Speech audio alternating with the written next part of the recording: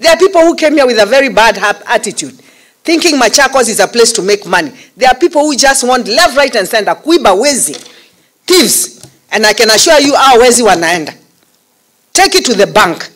I find you doing corruption in Machakos County. I swear to God, you will go.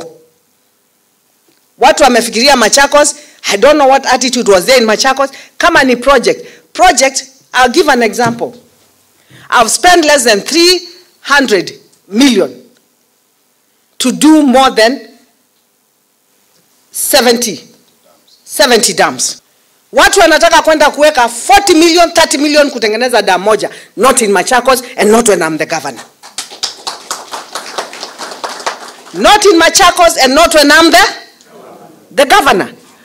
We must have spent, even if, uh, how do I say, any money we spend must have impact on our people. If I can spend 100 million to touch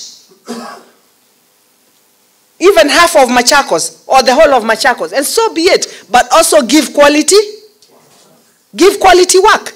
The bottom line here is quality work. And I'm putting all the ministers and the chief officers. I'm, I'm putting you guys on notice. You cannot, I cannot give you work.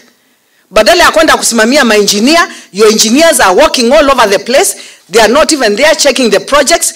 If your workers are not working, you as a minister or chief officer will go home because you're not in control. You're not in control. I found it very difficult, myself, even forming committees, to go and check over work where I have people who should be checking the work. Kama ni barabara, kama ni maji, kama ni building, kila mtu afanye kazi yake. And let me tell you, sacking you, I will sack you. Don't give me your vote in 2027 because I will not allow you to do the wrong thing.